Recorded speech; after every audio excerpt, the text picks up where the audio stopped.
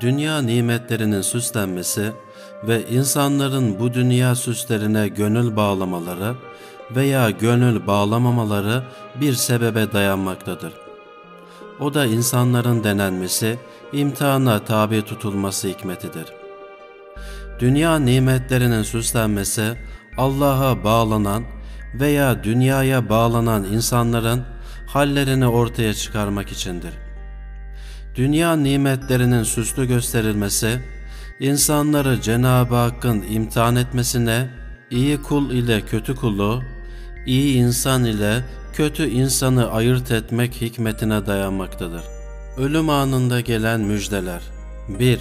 Halis kullara verilen müjde Onlara denir ki, amellerinizin reddedilmesinden yana bir korkunuz olmasın. Amelleriniz makbuldür. Sevabını kaçırmaktan yana bir hüznünüz olmasın. Çünkü sevabınız size kat kat verilecektir. 2. Avam tabakasına olan müminlere müjde. Onlara denir ki, azabın ebedi olmasından yana korkmayınız. Azapta ebedi kalmayacaksınız. Peygamberler, salih zatlar size şefaatçi olacaktır. Sevabı kaçırmaktan dolayı da üzülmeyiniz. Cennet müjdeniz var. 3. Zahitlere olan müjde. Onlara denir ki, haşirden ve hesaptan dolayı korkmayınız. Kat kat alacağınız sevap da hiç eksilmez. Hesapsız ve azapsız cennet müjdesini alınız. 4. Tövbekar kulları olan müjde şöyledir. Onlara denir ki, günahlarınız sizi korkutmasın. Çünkü onlar bağışlanmıştır.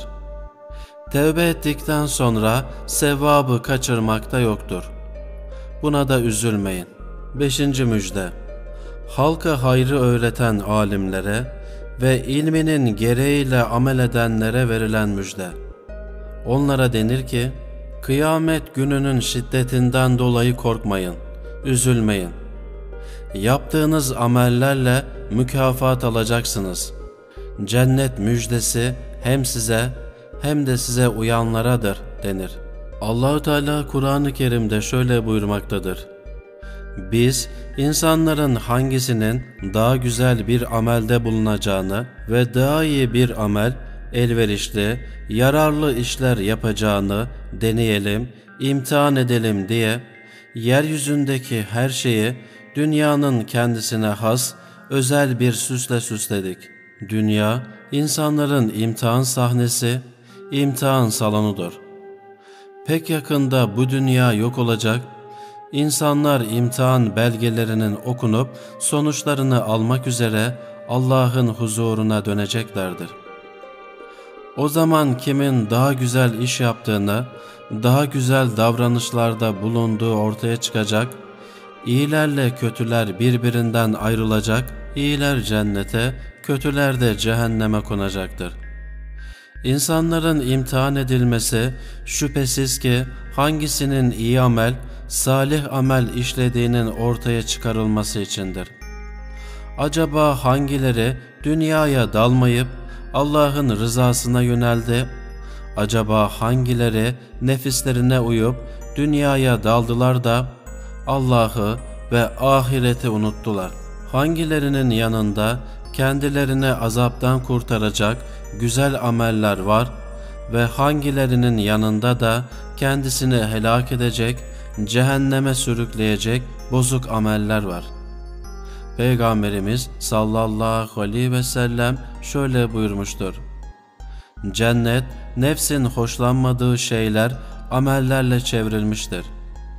Cehennem de nefsin hoşlandığı, nefsin düşkünlük gösterdiği şeyler amellerle çevrilmiştir buyurmuştur.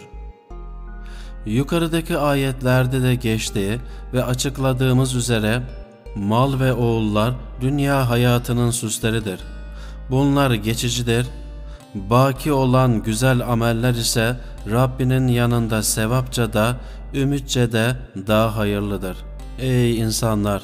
Biliniz ki dünya hayatı bir oyun ve eğlenceden, süsten, aranızda övünme ve böbürlenmeden, mal ve evladı çoğaltma yarışından başka bir şey değildir. Şeklinde buyurulmuştur. Bu uyarılar insan oğlunu baki ve ebedi olan ahiret hayatına özendirmek gayesine dayanmaktadır. Tegabun suresi 15. ayetinde de Cenab-ı Allah şöyle buyuruyor. Ey insanlar! Şüphesiz mallarınız ve çocuklarınız sizin için bir imtihandır. Büyük sevap ve mükafat ise Allah'ın yanındadır.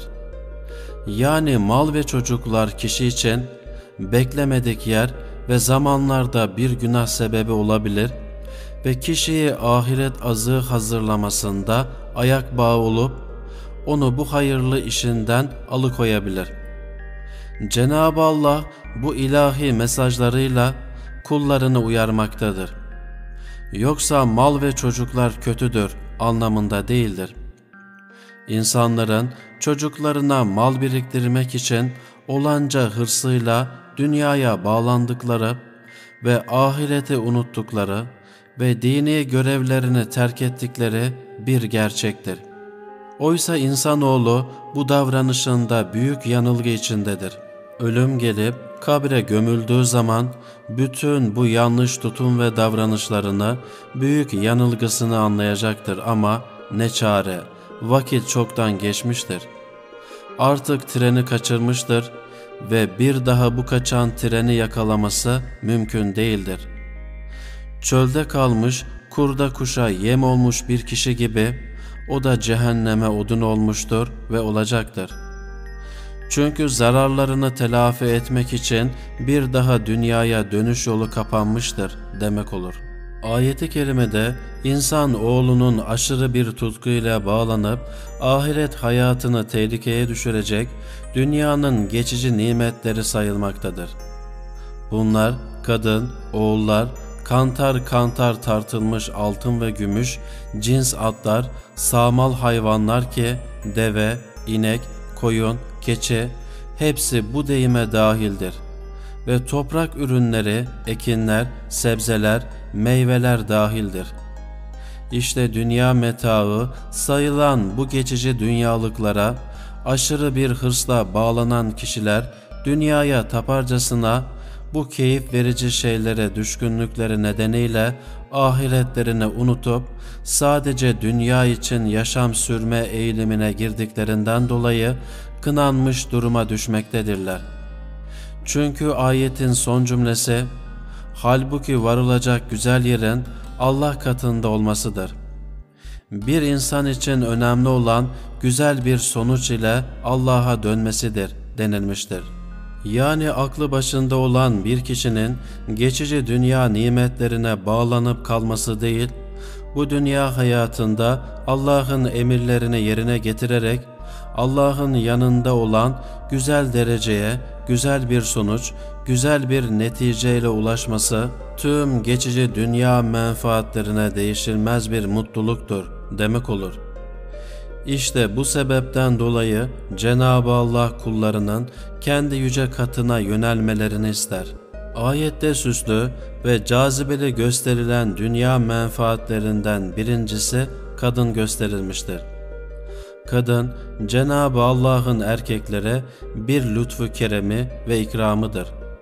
Bir erkeğe hanımının yaptığı huzur verici hizmeti ve gönlünü ferahlatıcı görevi, dünyanın hiçbir nimeti ve menfaati veremez.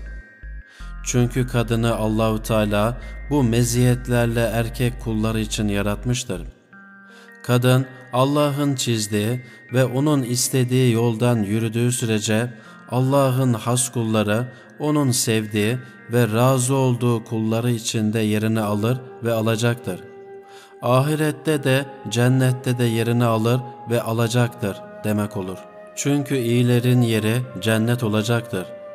Bir kadın Allah'ın istediği iyilerden olursa cennettedir.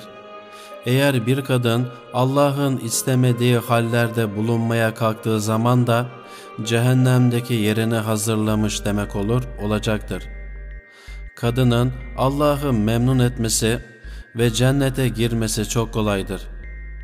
Allahü Teala kadınların cennete girmelerini kolaylaştırmıştır. Allah'ın peygamberi Yüce Efendimiz sallallahu aleyhi ve sellem hadisi şerifinde şu müjdeyi vermektedir. Kadın beş vakit namazını kılarsa, Ramazan ayı orucunu tutarsa, iffetini, namusunu korursa ve kocasına itaat ederse cennete girer. Yani bu vazifeleri yerine getiren kadın kullarına Allahu Teala sever demektir.''